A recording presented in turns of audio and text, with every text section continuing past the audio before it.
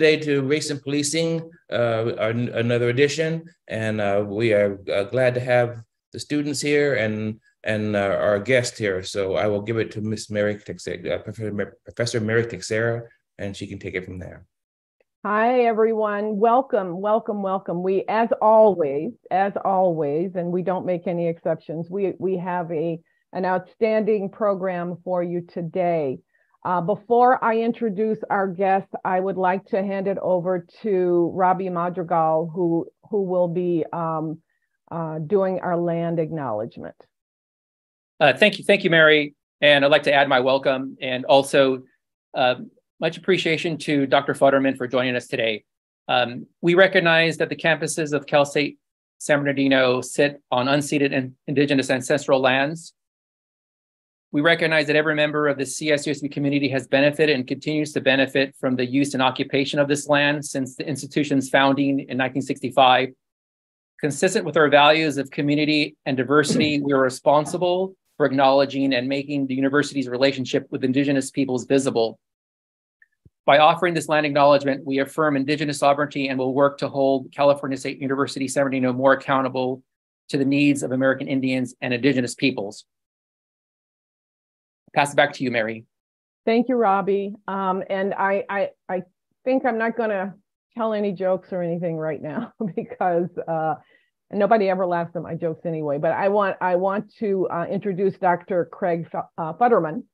He's a clinical professor of law at the University of Chicago, where he serves as director of the Civil Rights and Police Accountability Project of the Mandel Legal Clinic. Before his appointment to the law faculty, Professor Futterman was a lecturer in law and director of public interest programs at Stanford Law School. So he's, you know, he knows California.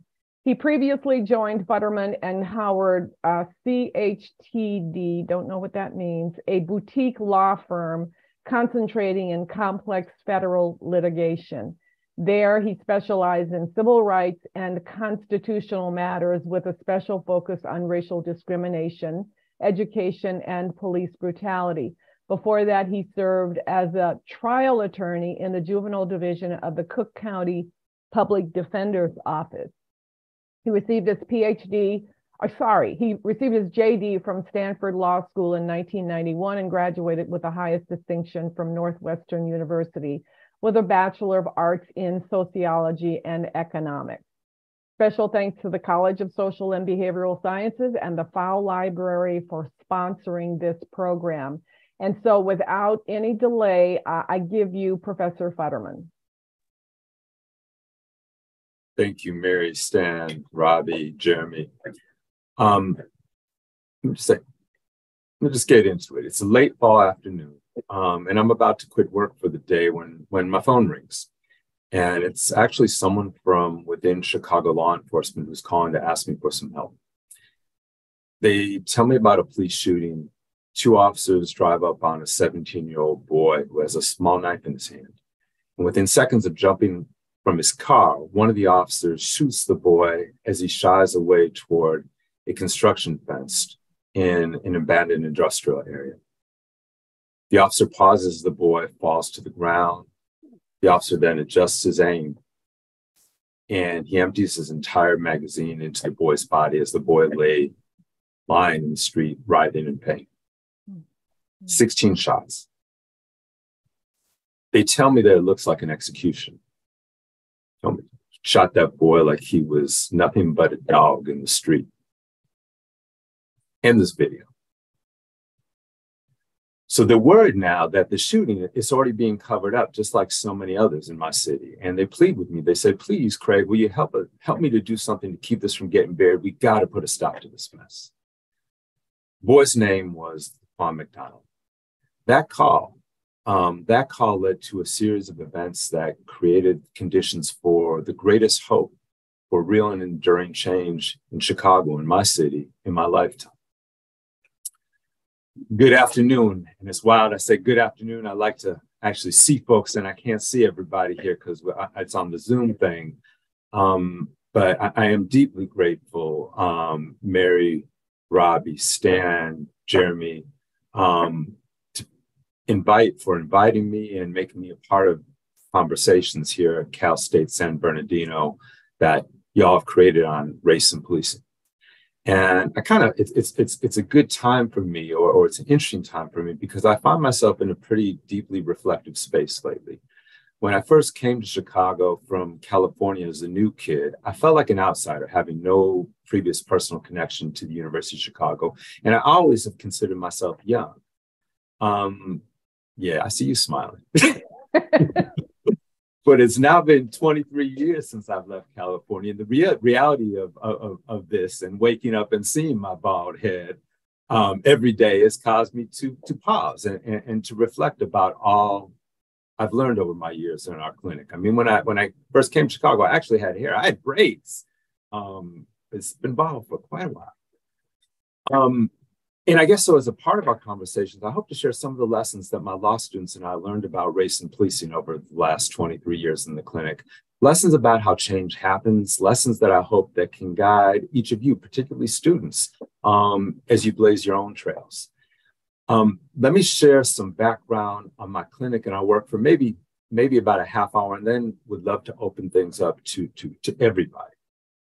Um, so first, my clinic, our clinic when my hero Randolph Stone, and for those of you who don't know, many of you might not know that name. I'm not going to give you the Randolph Stone lecture, but Lord, you need to know who he is. Look him up. He's a critical part of our history, someone who's been a role model to me my entire life. So when Randolph and I founded um, what we call the Civil Rights and Police Accountability Project back in 2000, so for a lot of you undergrads, before y'all were even born, um, it was the very first law school clinic in the country that focused on police accountability and racism. This is long before Ferguson and the activism we've experienced the last eight years or so, more than 20 years before um, Minneapolis officer Derek Chauvin pressed his knee on George Floyd's neck for those awful nine minutes and 29 seconds. Long before mainstream media began to give systemic police abuse of Black people any attention whatsoever. We strive um, to be a grassroots, ground up, community based law clinic. And for the past 23 years, my students and I have been working alongside individuals and families in Chicago, people who've been most impacted by police abuse. We represent people abused by police in civil rights cases and criminal litigation, people who have no other access to justice. And at the same time, while we're standing shoulder to shoulder with folk, um, with our clients on the ground, we're trying to shoot for the stars at the same point we're constantly asking one another the how and why questions, like how this individual instance of abuse relates to structural and systemic injustice. We work to improve law, policy, practice. In summary, we provide or we strive to provide real service to real folk in real need who otherwise lack access to counsel while fighting alongside our clients for systemic change. And most of all, I'd say that we aspire to be a, a community clinic. And our goal is that everything that we do it isn't just informed by, but it's actually driven by community need. Cast down your bucket wherever you are. All right. I've never been in, I see another head nod, but I've never been a big fan of Booker T. Washington, but his words here have um, always deeply resonated with me. And they've, they've guided our work in the thing. Cast down your bucket where you are. Um, people often ask me when I talk, or just even when I not talk, but people often ask me, what can they do? How can they address injustice? I believe it's it is our responsibility to address injustice wherever we find it, but it starts in our own backyards. And so for us as a clinic that was a part of the University of Chicago Law School on Chicago's South Side, it began with casting our buckets down right there. And following the advice of another personal hero of mine, Bryan Stevenson, it also began by getting proximate, the need to get close, to be proximate. And getting proximate, as my grandmother used to say, means coming with respect too, coming with humility. Soon after we launched this project, um, Police Accountability Project, Civil Rights Project in 2000, we formed um, we formed a partnership with public housing residents. And, and actually, this the background that you see right now um, was what was then left of this community called Stateway Gardens, which made up about eight square blocks of Chicago's South Side, situated just about 10 minutes from where I teach at the law school. And the State Street corridor, where, where, where Stateway sat, was home to the largest concentration of public housing and poverty, indeed, in the entire nation, made up about a four mile stretch of 10 and 17 story high rise apartment towers filled with thousands of our nation's poorest families just struggling to make it. And you could see the stretch of the towers from the interstate highway um, in Chicago that divided public housing from the white ethnic communities on the other side of the highway part of our racial divide. Everybody who lived at Stateway was Black. Um, so residents there trashed out um, a vacant ground floor apartment, four bedroom apartment that had been a haven for illegal drug activity and converted it actually into productive working space for us and some of the other folks we were working with. So we became de facto squatters off the lease, so to speak. Um, and from that post on the ground, we partnered with Stateway Gardens residents to build a robust human rights documentation and advocacy project that we call the Stateway Civil Rights Project. And this and, and that background that you've seen, it became a second home to my students and me for about the next seven or eight years. Um, one of the sad things, and and and I don't and, and that have to acknowledge is that the entire community has since been disappeared by an Orwellian state project called the Plan for Transformation, which is a government policy of demolishing public housing communities to reclaim that land for gentrification or development. Among the folks um, who we came to know at Stateway was Diane. Um, she was then a 50 year old public school janitor, a single mom, always seemed to have a kind word. And um, one of the things that for folks who know me, I like to eat. Um, Diane always had, she was generous and had delicious food for her neighbors. Um, and then we just stopped seeing her. That friendly face, smell of that home cooked meal meals, nowhere to be found. It, it, it turns out that over the course of about a year, um, five Chicago police tactical officers subjected Diane to a series of repeated assaults on her person, her home, her family, her religion. The group of officers, um, this group widely known as the Skullcap Crew, forced Diane on two occasions to disrobe, bearing the most private parts of her body. They threatened her with a loaded gun, needle nose knot pliers, a screwdriver, leaving her convinced that they would rape or kill her. They beat and they choked her. They assaulted her with racist and sexist epithets of the worst kind. They tore up her home. They desecrated religious objects, tore down the cross on her wall, broke things that were just sacred to her. They threatened to plant drugs on her and falsely arrest her. They, they beat up her teenage son. And they even brought in um, one of her neighbors, a middle aged black man. And then they forced her then 16, 17 year old son to beat the older black man for their amusement, like a stage cockfight. We learned that these five officers had engaged in a years long pattern of abuse of Black folks in public housing on the south side of Chicago. We heard multiple firsthand reports of their abuse, including their sadistic sexual abuse of Diane. And what distinguished them what distinguished them above all was their overt racism and just the particular pleasure they seemed to take in the racist acts. Like they got their jollies off of abusing Black people.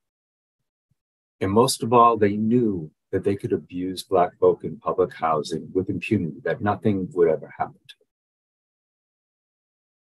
While um, we didn't initially conceive of our partnership at Stateway as a litigation project. We came to see the law as a powerful tool in a fight for police accountability. While nobody saw lawsuits to be the end all and be all, our, our neighbors at Stateway showed us creative ways that we could bring legal challenges that could upset some of the power disparities that facilitated that impunity and how legal strategies could, could, could support the community fight to challenge things like official secrecy and denial on the ground. So we brought a civil rights case, a federal civil rights case, federal court with Diane. We actually wound up bringing more than six major federal civil rights lawsuits with our Stateway neighbors. First, I can't begin to describe the courage it took Diane to do this. I mean, it took months before she was even able to talk about what happened, what they did to her with us. And when she did, she could only do so in like bits and pieces, fits and starts. I mean, just imagine also the prospect, the trauma of subjecting herself to aggressive interrogation by the Skullcap Crew's lawyers attacking and accusing her while the denying while denying the reality of all that she experienced. Together, um, we sued the members of the Skullcap Crew to hold them accountable for the sadistic abuse of, of Diane. But we also sued the city of Chicago City Hall to um, expose the systemic conditions that allowed it to occur. Um, as a part of the lawsuit, um, this is kind of wonky stuff, but we fought to get six years of city data about every complaint that involved police brutality and other serious abuse. And when we analyzed these data, we saw exactly why and how members of Skullcap crew believed that they could operate with impunity in Stateway gardens. While the data didn't reveal anything that folks at Stateway didn't already know, the police department's own data made those realities difficult to deny. The police department could no longer deny the reality of Diane's experience by simply labeling her as a criminal and pitting her word against the word of a group of police officers. Because CPD's own data painted a portrait of impunity. We learned when we looked at this stuff, the police department refused to examine patterns of police abuse in Black and Brown communities. We learned that the probability that the members of the Skullcap crew would be disciplined when they were charged with abuse was virtually zero, non existent, that fellow officers would cover from every time that they were accused of beating on Black folks, and that the department's practices, the very practices for investigating police abuse, were designed to ensure that officers like them would be immune from discipline when they hurt people. I used to call it a broken system, which was completely wrong because actually the practices in the system were very much designed to do exactly what we saw it do because we got to see them when we looked at these things. We observed how complaints of serious abuse were made to just disappear, come in dirty, washed out clean. But um, the police department hid all this critically important, important information from the public, from the people, from all of us, and remained unexamined under city lock and key until now as a result of Diane's lawsuit. But the problem was it was given to us only under this strict protective order. We weren't allowed to share it outside of litigation. So the systemic conditions that allowed the Skullcap crew to torture Diane still remain hidden from view. So um, we devised a strategy in state court to complement all that Diane was doing then in federal court. And we brought what's called a Freedom of, of Information Act lawsuit to take all the information that we pried from the police out from under that protective order and make it public, make it accessible to everybody. In this battle, you see, y'all, it didn't just play out in the courts, it played out in the streets and it played out in the media. And we were winning. Among the lessons my students and I learned is the importance of changing the narrative because we framed the public conversations in the media, not the police department, not the mayor, not the political administration. So instead of headlines about out of control crime, the need for desperate measures by the police, front page headlines instead read, What are they hiding? What are they hiding? And our victories on the ground in reframing this narrative paved the way for transformative victories also in courts. So after about two years of intense battle, we established the legal precedent in Illinois that police misconduct records belong to the people. Police misconduct records belong to the people. It's one thing to say or to win a legal precedent, and it's another thing to bring it home, to make it real. And our clients stressed, people stay with stress. When we said public, we mean public. So we work with um, community partners at a nonprofit that we helped to create called the Invisible Institute to build something that's called the Citizens Police Data Project. And what it is, again, wonky, but a public searchable database that gives everybody, and I mean everybody, ordinary people, researchers, journalists, policymakers, police officers, organizers, advocates, people languishing in prison, everybody with access about every single police misconduct complaint in Chicago. I know there have been similar fights in California about the laws and opening up these records um, in California as well, with, with ferocious fights against it. And but what we did here, first in Chicago, never been anything like this in our history as a nation. Because this was a this is, not was, it's a fundamental redistribution of power from police to ordinary people. And people are using this information every day in fights for justice and freedom. Perhaps, though, um, the cruelest irony is that the city succeeded in that $1.6 billion Orwellian plan to demolish Stateway Gardens and its neighboring public housing communities before, before we actually won the legal fight that created an official record that documented the reality of the conditions there, conditions of widespread abuse that Stateway families were forced to endure. The city destroyed the scene of the crime. Thousands of families' homes demolished. While um, the buildings have been razed, the questions raised by our friends at Stateway, families, community remain. What underlying conditions allowed a group of officers to know that they could abuse Black people like Diane in public housing communities with impunity?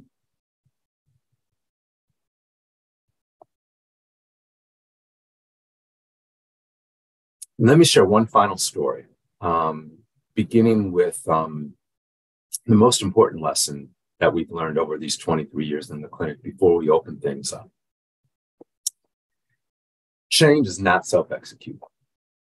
It requires that we get proximate, it requires that we listen, that we humble.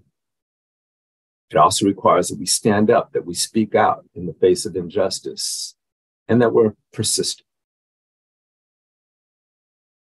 Let's go back to that confidential call that I I shared at the beginning after Mary introduced me. That confidential call about Chicago police officer, his name is Jason Van Dyke's execution of 17 year old Laquan McDonald. When I got that call, wasn't anybody in the streets raising their voice about Laquan McDonald. The police and the press had written off this boy's execution, 17 year old kid's execution, as just another unfortunate killing of a young black teenager who attacked a police officer with a knife and was shot once in self defense. Nothing to see here. And y'all know that, admit you don't know, but let me tell you, stories like these appeared several times a month in Chicago media. The basic element's the same. Black person shot by police. Police at the scene say the shooting was justified. Authorities then rely on three words, three words um, to deflect any further inquiry. It's under investigation. Internal investigations then operate as a critical part of this machinery of denial, reifying the official narrative. They proceed quietly outside of public view, often taking a couple years or more, and they are designed, as I said, designed to lead to a common result. In the seven years leading up to Laquan's killing, Chicago police officers had killed more than 400 people. That's an average of more than one person a week. More than 75% of the people who were killed by the police in Chicago are Black. Not a single one of those killings was ever found to be unjustified by the city. So, my point is, it, it, it took real work to bring any attention to Laquan's murder. This thing it doesn't just happen by itself.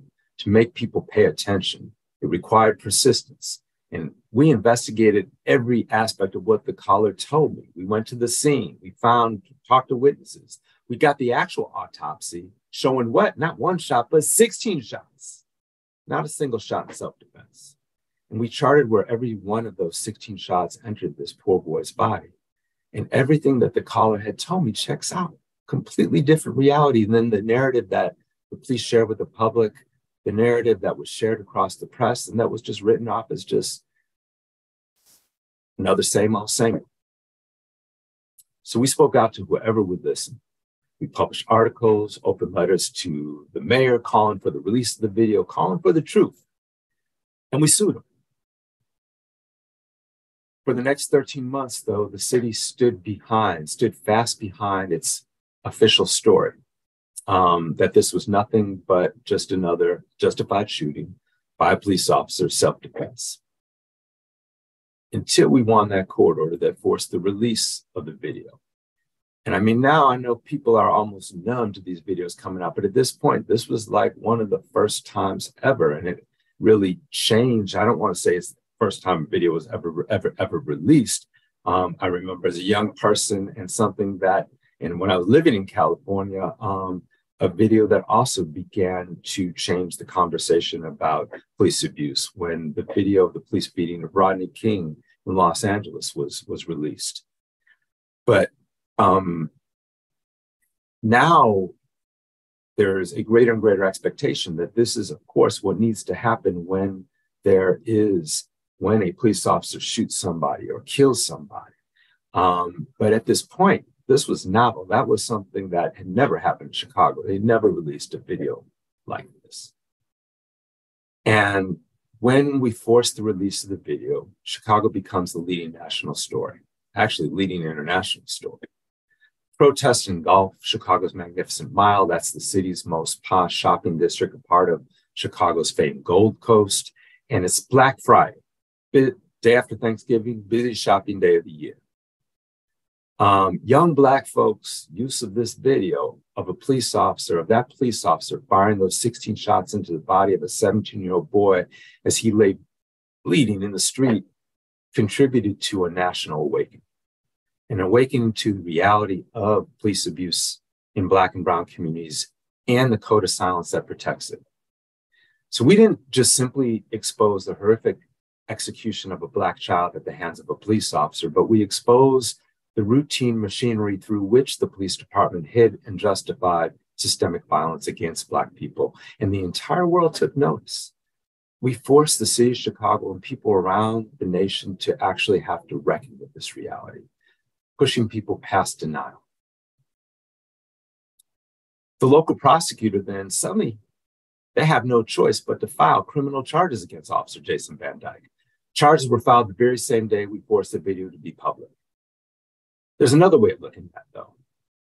The other way is that in, in, in, in Illinois, they're called state's attorneys. Y'all call them district attorneys, DAs. But the prosecutor, the local prosecutor, never charged Officer Jason Van Dyke for any of those 16 shots that they had captured on video until the day we forced that video to be public. We filed a successful petition also to appoint a special prosecutor independent from the local prosecutor to actually prosecute Laquan's murder and the cover up. And this results in the murder conviction of Jason Van Dyke, the Chicago police officer who fired those 16 shots into Laquan's body. And this um, was the very first time that an on duty Chicago police officer has ever, ever been held criminally accountable for killing a Black person, ever. And I told you this is happening once a week. Police chief is fired.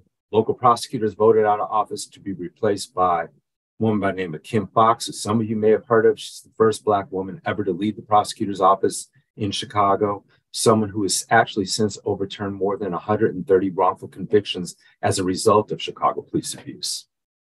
Then Mayor Rahm Emanuel sees the writing on the wall, decides not to run for reelection, and the US Department of Justice the DOJ now has no choice but to finally respond to our years long cries come to Chicago.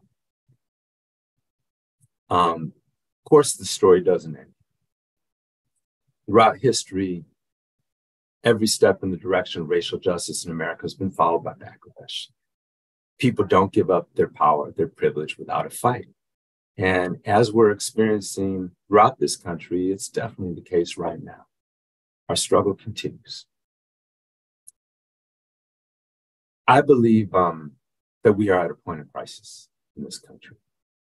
And um, each of us, each of us, we have to decide what we stand for, what we believe in, who we are as a people. I mean, who we are as a people will be judged by the decisions we make in this time, in this moment.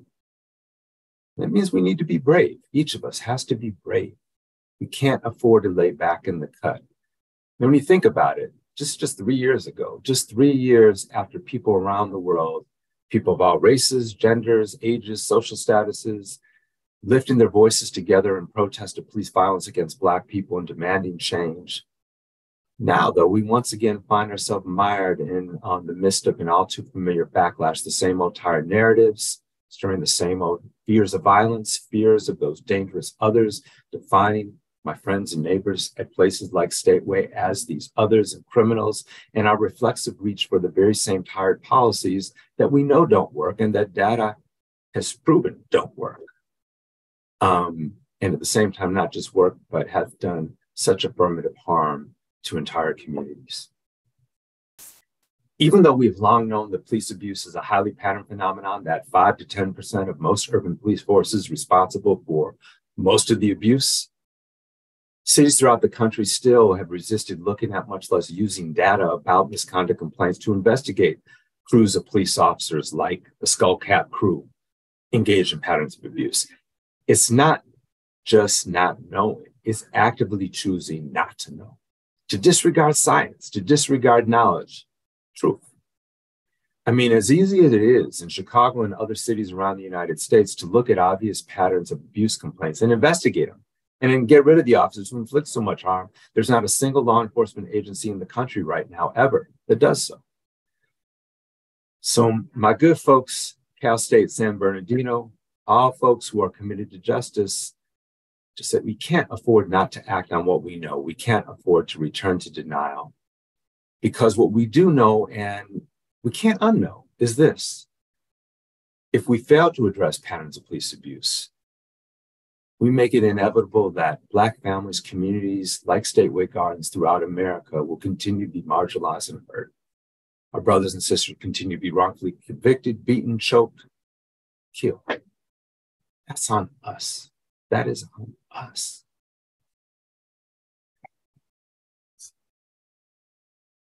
I apologize.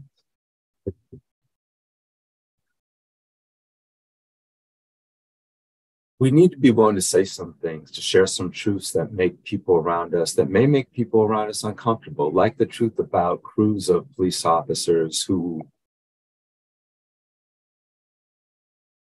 try do not disturb, but uh, it's, it's not working. Um, like sharing the truth about crews of police officers who've been allowed to abuse Black people in communities like Stateway Gardens with impunity. The truth about Laquan McDonald's murder didn't come out by itself. We had to forcibly tear that curtain back to expose the police department's machine of denial that covered up Officer Jason Van Dyke's murder of Laquan McDonald the US Department of Justice, they didn't just come to Chicago simply because the police department engaged in a decades long practice of systemically abusing Black people. The DOJ came only because we gave the DOJ no choice but to come. So if we want to achieve justice, we want to address, we want to end, let's be bold, let's end systemic racism in America. Each of us has to use our power, our privilege to cast our buckets where we are, stand up, speak out, make even our own friends and family uncomfortable sometimes. It's not always going to make us popular, and we got to be persistent. If there's one thing that I've learned in my 23 years in the clinic, it's that things don't change by themselves. Things change only when we make them change. Glad to open things up to questions.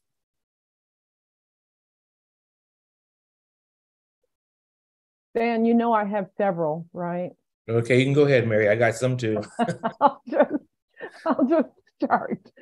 I, I guess I'll start more generally, and that is I think Chicago is a, um, you know, kind of a laboratory for, you know, all of those groups that came together at the beginning of the 20th century.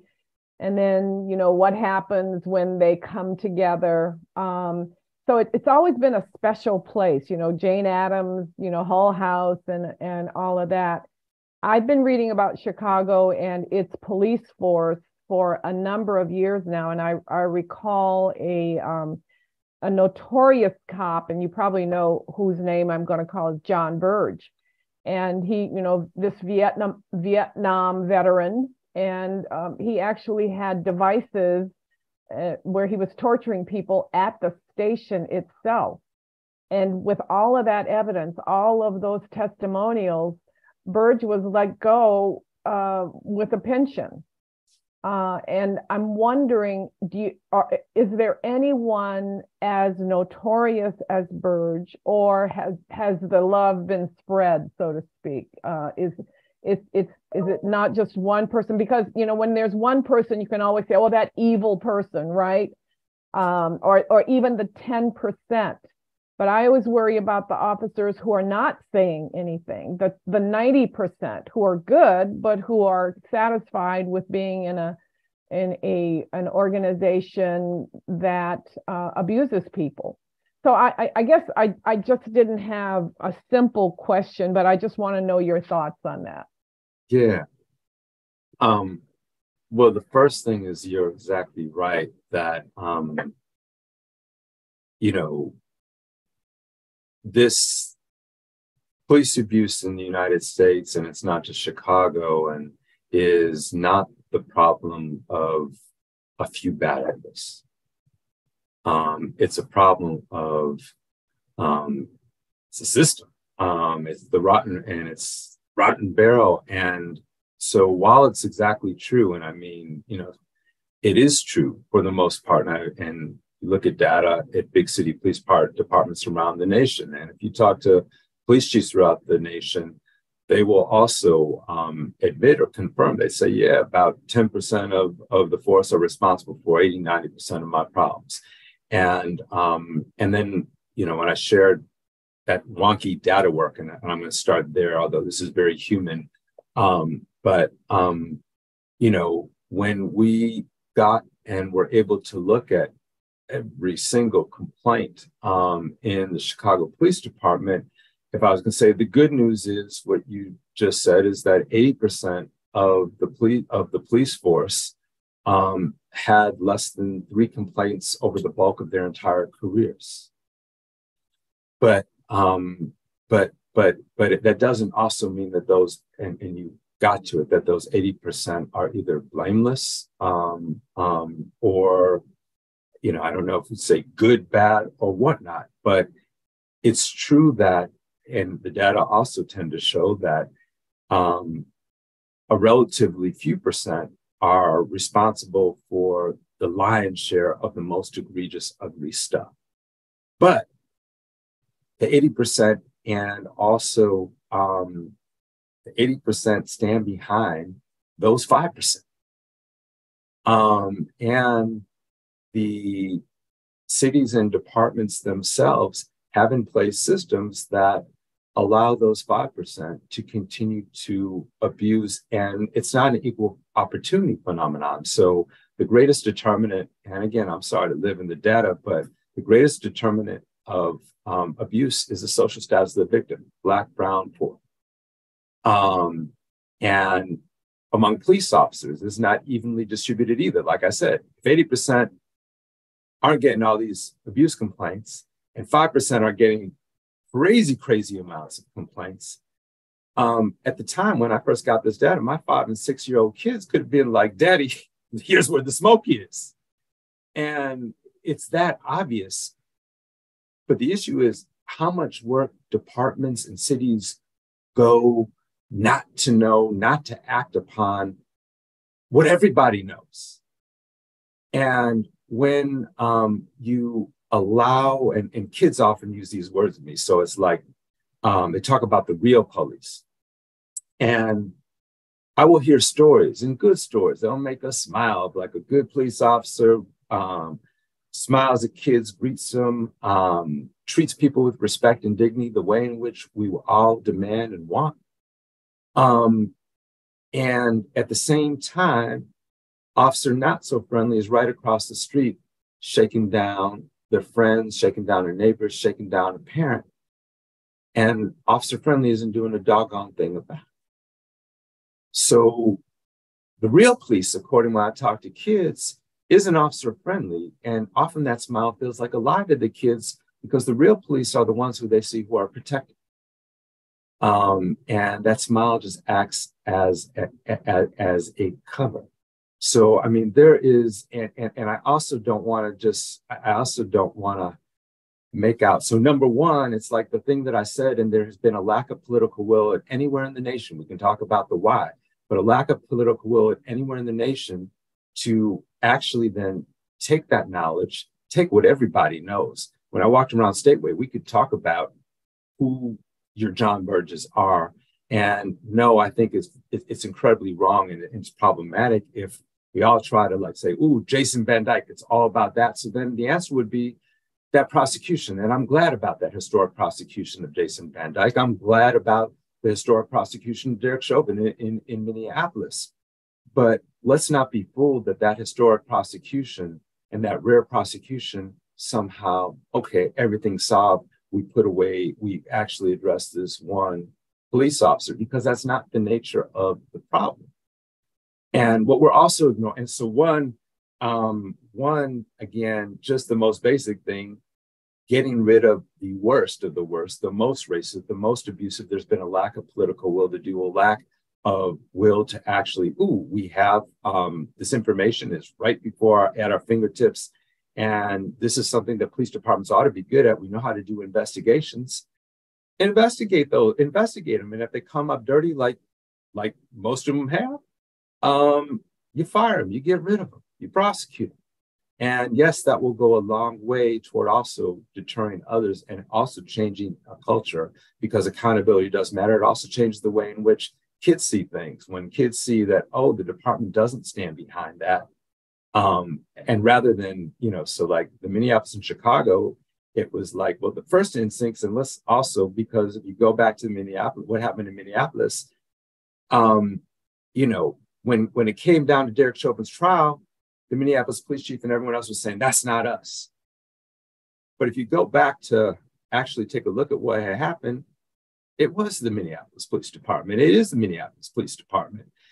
They also, right from the very beginning, sought to cover it up. And but for a 17 year old girl was outside who videotaped that, there would never have been prosecution of Derek Chauvin that we saw. Um, but the other thing is that um, this egregious abuse, the worst stuff, happens in the context of just everyday unequal and disparate treatment, a two-tiered style policing in different communities. So um, what I didn't share, if I, I could share lots of stories, but just kind of the basic thing, one of the first things that my students could help but notice, particularly most of my students coming from privileged backgrounds, majority, majority, majority white students, um, and um, and then working working then alongside me and alongside Black folks in Stateway Gardens was among the first things that they noticed was I'm teaching them and other law professors are teaching them about the Constitution in the classroom, but that they saw something that looked like a completely different Constitution on the ground there. Because and, and, and something that they didn't experience in their own neighborhoods. Because then what they would see would just be, hmm, and there's everyday thing and i'm not talking about the most egregious stuff like what happened with diane and i can tell you more stories of, of out and out torture that put the Burge stuff to shame that we saw with our own eyes um, i saw torture with a chainsaw police officer taking a chainsaw to somebody's head um, a father while his daughter a 10 year old girl autistic girl he's worried about his girl outside alone they are torturing this man with a chainsaw for their pleasure in front of his neighbors because nothing's going to happen in it. And they said exactly those words. Um, called them well, called them all kinds of things out his out his name. But um, those everyday the everyday stuff of just being being outside. Shoot, uh, as as that as that little boy's family in Kansas City, even ringing the wrong doorbell, but just being outside um, means that you are going to be treated with suspicion of being a criminal. And so while I taught kids in my law school class that, well, if you're going to stop and search someone, you need what's called a reasonable articulable suspicion that that person is armed and dangerous. Um, and what my law students saw was that every young black man, woman, non-binary person as well, um, expected to be treated with the suspicion of being a criminal. And the officers out there, and I'm not talking about the 5%, I'm talking about the 100%, saw it as their jobs and expected this is what we're supposed to do. I mean, indeed, I'll tell one more, one more story and, and, and, and then a question, because um, I could go on too long, I know. Um, one of my students rode um, as a part of our class, she rode in the back of, um, of a police car. Um, and um, it was part of a sociology a sociology class, and um, two officers and their duties were just patrolling public housing communities like Stateway, all Black communities. My student, white woman, relatively, I mean, definitely privileged, privileged woman, was just shocked by what she saw. And what she was shocked by was what she saw was just treated as the normal baseline. It's that, so the officer, the, the car would stop, and particularly young Black men outside, see teenagers outside, everyone up against the wall, um, hands against the wall, spread eagle to be stopped, searched, rifle through their clothes, through the things. And um, pattern repeat itself again and again and again. And what shocked her wasn't just kind of like, ooh, this happened once, but it, but that like, this is normal. That every black person expected to be searched and treated like a criminal, and the police officers felt that this is their job, this is what they're supposed to do. And this was something that was unimaginable where she came from it was contrary to everything that we taught her about what the Constitution is. So when you're talking about the problem of police abuse and police accountability, it's more than also just even that ugly 5% and the racist and the most racist 5% and the folks who cover for them. And when you even think about the amount of courage it took for that person to call me about the killing of Laquan McDonald, they still can't be known to this day. And the reason why they can't be known to this day is because um, you don't rat on fellow police because if you do, that's your life, that's your family, that's your job, that's your house, um, it's your safety. And so um, that's the kind of problem that we're really talking about when we're talking about systemic abuse, racism, um, and as opposed to a story of, ooh, there's one big bad torturer who served in Vietnam. Yeah, he is beyond um, a problem in a pale um, but one, he doesn't stand alone. And two, most importantly, he could do and effectual and do what he did unless there was an entire system that allowed him to do that and sometimes even encouraged him to do that. There had to be some John Burges sending the message um, to again do what others would not do um, to enforce again a hierarchy um, and sending a message of where everyone places is in society. And so a big part of the strategy before Stateway was destroyed was keep everything in the box. As long as we keep Black folks here in this community, um, in this ghetto, and we contain violence here, nothing gets out the box, it's all good um, and what goes on in the box and what police do in the box, including whether they steal, whether they beat on people. It can be justified from the outside by media messages of violence, fear. Um, and shoot, my own students were definitely afraid at first, like going to the projects. And I say, yeah. And I mean, among the first things, and it's ridiculous that my students had to learn this, was that families, children, people, teens, old, young, um, made up a community just like the very communities they came from, just as real of a human community, having the same issues, same problems, the same love, the same systems of support, and actually had to deal with things, though, at the same point that were unimaginable to most of my students. Um, but that, yeah, I mean, the way in which that land clearance policy was even done, and I could just keep going, so I should stop. Was, um, but but I'll just share one other bit. Is there was this um, there was this um i remember this like uh, billboard and the billboard um it was a beautiful billboard and it was called um like park street or something like that park community it was this was the new Nevada community that was imagined to then take the place of stateway gardens and so it's like all these beautiful images of like racially ambiguous folks a grandfather skipping with his granddaughter a little boy blowing a dandelion words of like hope, community, diversity, all kinds of loving great things. And then in big, bold letters um, as the title, a community coming soon, right? As though, um, irrespective of how we think about the malevolence that I didn't want to impute upon this beautiful nirvanic vision of community, um, but that our city's architects either have forgotten, they didn't know, or they didn't care that about the thousands of families who had called and made Stateway their home. that a real community existed here,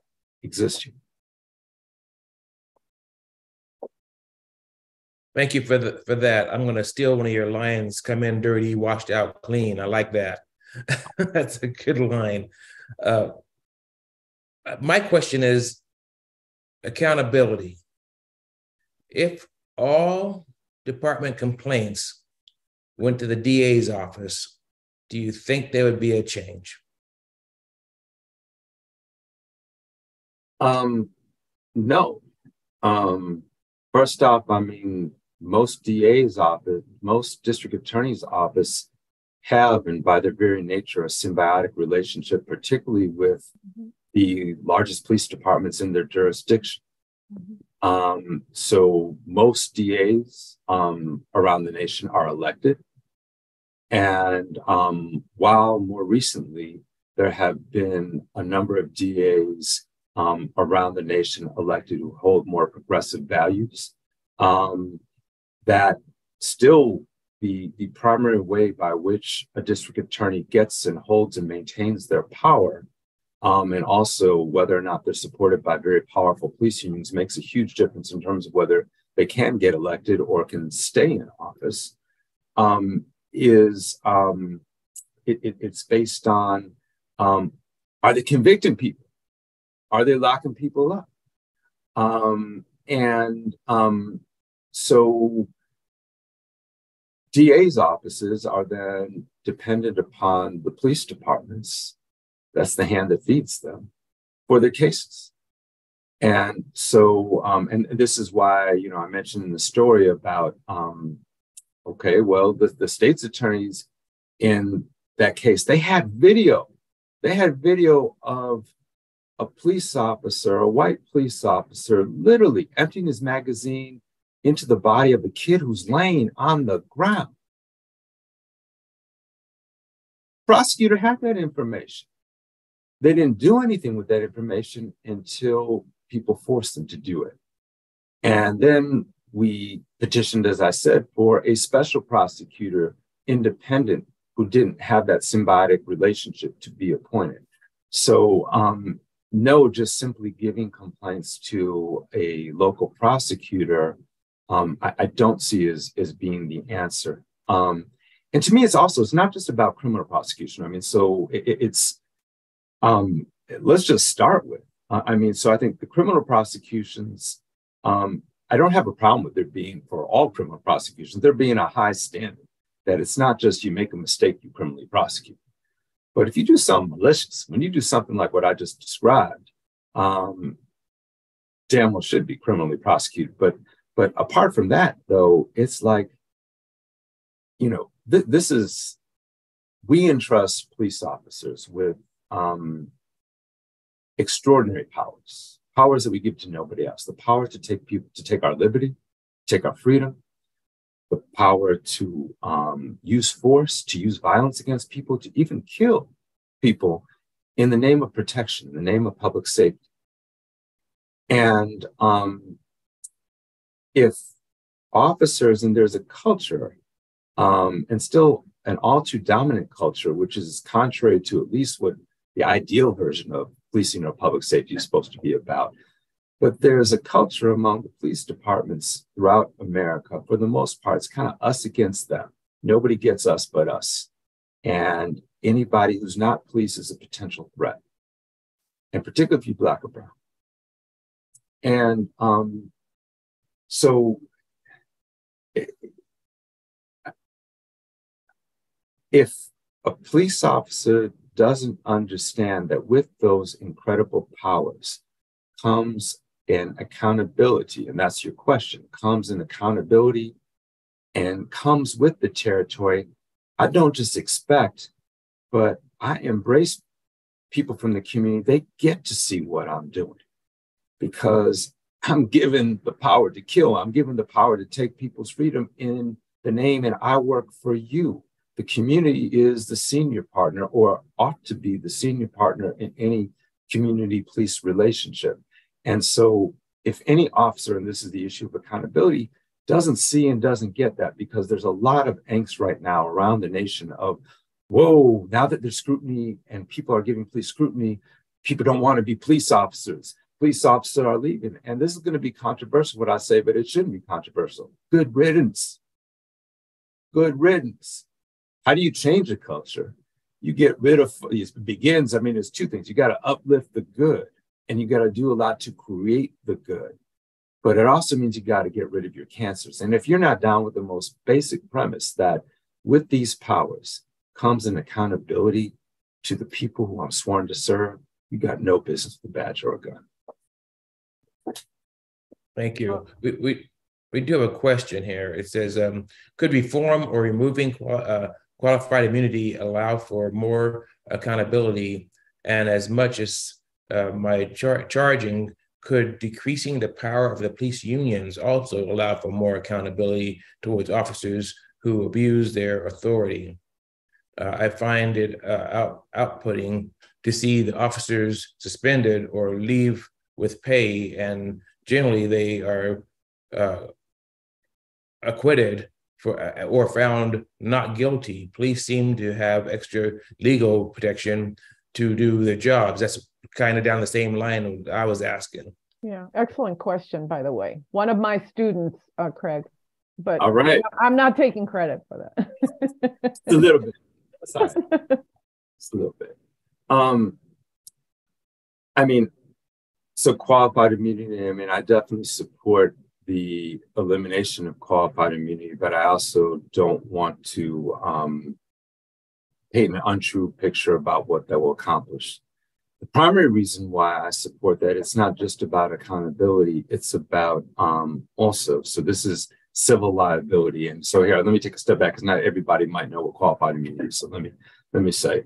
So there's a doctrine that was created by judges. It's nowhere in, you know, mandated by any legislation. But judges created a doctrine many years ago that protects police officers and other public officials when they've actually violated people's rights. They violated the most fundamental rights, the Constitution of the United States. And um, instead of, um, as the law that created um, the right to bring civil rights suits um, meant to do, and, and, and it gave people the power directly to bring a civil rights lawsuit against a police officer who abused their power and authority to violate your most fundamental rights. Um, and created a new barrier and said, even if the officer violated your most fundamental rights, um, we're going to create a new doctrine of call it qualified immunity, and we'll impose a standard where even if you violated, even if it's there's no doubt you violated um, someone's constitutional rights, we'll create ways that basically you can get out from under. And I'm not going to get into all the technical details of it, but it's it, it's a doctrine that really applies to prevent both the litigation, lawsuits, and liability of officers who actually have violated people's civil rights. Um, so, um, of course, I support eliminating that. That that that's that's an easy one. But I uh, but I mean the primary reason I support it um, not just a, an accountability reason, but it's about also what I equally think is critically important is what about the survivors and victims of police abuse? And what that doctrine of qualified immunity does is deny people who have undeniably been had their most fundamental rights violated by a police officer any access to justice, reparations of any kind, no matter how badly they were hurt. So, yes. But what I also don't want to create the illusion that if you eliminate qualified immunity, it's all good then um, there will be an accountable police department. That's also just simply not true. Um, and um, it would eliminate one and one of the many, many procedural barriers that stands between police officer liability and um, and, and and you know the antithesis of impunity. But one of the realities also is even when police officers are found liable, in like 99% of the cases, um, they're not paying a dime. Um, it'll be picked up by the taxpayers.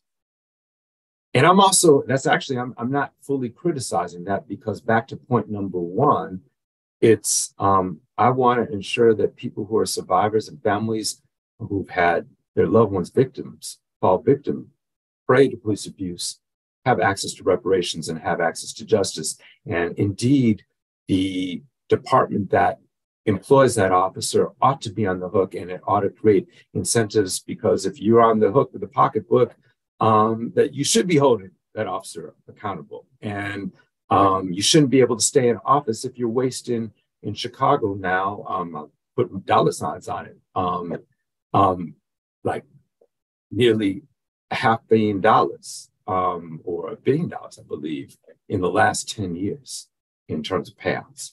So um, yeah, so that's that's qualified immunity, and in respect to ple- with, with respect to police unions, um, I believe in due process, and I believe in due process for everybody. So I also believe that police officers should have, just as every other person in the United States ought to have, fair procedures and have a right to defend themselves. There's no doubt about that. I'm not like take out the firing squad because a police officer is accused. Police officers can be wrongly accused too, and I know viscerally what it means and what it feels like to be wrongfully accused of something that you did not do. But police unions, um, police unions, and again, the largest police unions throughout the United States have not done, not only they've done a disservice to the people, and the public, all of us, um, in again creating systems of impunity and protecting the worst among them. But they've also done a disservice to fellow police officers. So, and again, I'm in Chicago, so I'm going to use Chicago as an example. But um, in Chicago, it's been shoot. I mean, in terms of who leads, and here's the Fraternal Order of Police is the biggest police union here, um, and and it's part of a broader national police union.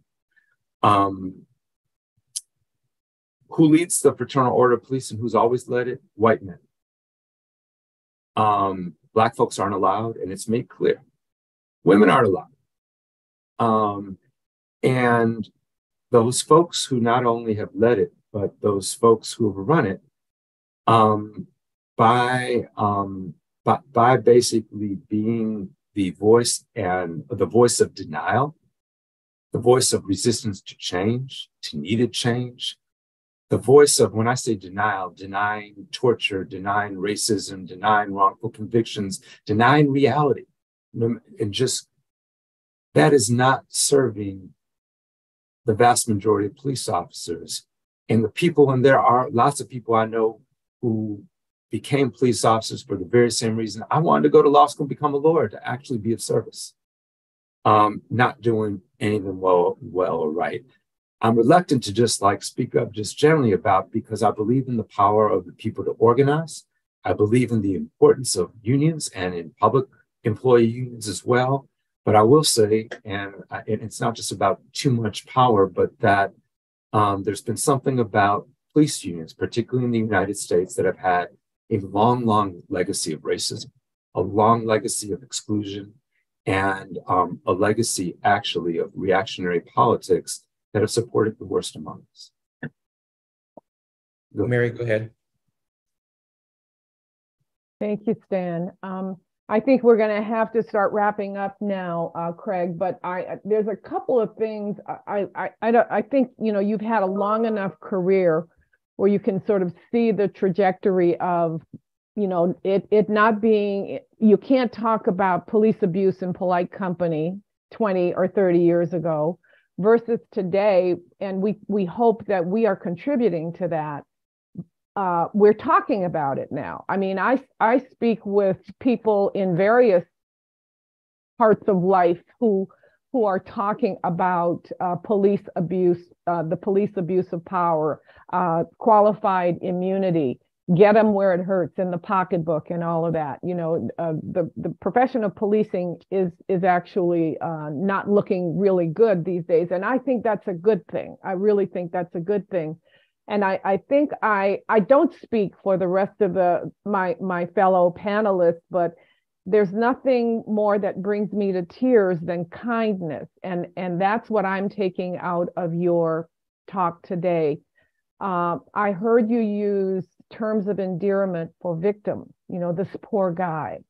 and we haven't heard that a lot. You know, we've talked to a lot of academics, um, uh, attorneys, and victims, and so forth. We haven't heard that that kind of empathy that has uh, come from you today, and I just want to thank you for that, and I want to congratulate you for that because you've wound you, you, you've managed to do good work, but also to understand humanity, people's humanity so I just, um, you know, I, I, like I said, I only speak for myself, but I know the other people on this panel, and I don't think they're going to throw me off the panel because I said that. But uh, I, I appreciate that so much, and I think our students do too. I think you've you've taught them something about uh, about um, feeling and and about empathy and about caring for people who don't necessarily look like you. But you know, it's like you said, we all hurt we we're all hurting because of what we are allowing our public uh, employees to do. You know, we are not hitting them in the pocketbook. We are not uh, holding our city council people. We're not holding their feet to the fire on this. Um, you know, we had a district attorney in Los Angeles by the name of Jackie Lacey, who you know, you know, who you know a, a, police officer could do no wrong in her in her view. And she's a black woman. Uh, you know not not that we always expect that from black women but this was especially you know uh, just horrible just horrible. And so uh, we've got someone better now but i'm not sure. I mean I, I i think you keep working because of your you have hope obviously um, and we do this because we have hope. We we at first did it because we were angry and we were just so hurt over what we saw in that nine and a half minute video. But now we're doing it because you know we want to effect change um, not only in our community in San Bernardino but but uh, nationwide also. So again, thank you. I, I said that I, I went on a little too long, but but thank you so much, Craig. Appreciate that. And also, Craig, you, you said something. We are in a crisis, and we are. And and you said we can't ignore uh, injustice. And I think that's for the students. I think that's something they need to to hear. And when they see it, they need to react. And and like you have, I mean, I, I'm. A, it's amazing that you're in a city that that was so bold as to tear down uh, Stateway as to, to we kind of get rid of the that's a big move on their part and they did it. It's, it's, it was that important to them to to be clean you know? It's amazing. And thank you so much for joining us today um, and uh, hopefully we can have you back again sometime. Thank you both so kindly and um, know that i'm touched i'm so deeply humbled and um, i am so grateful for what you're doing. Things don't change also without conversations like these. It begins with knowing, but we got to do more than know. We got to actually act on what we know. There you go. Thank, Thank you. you. Thanks. You take care. Thank you so much. Thank you, students, for joining us.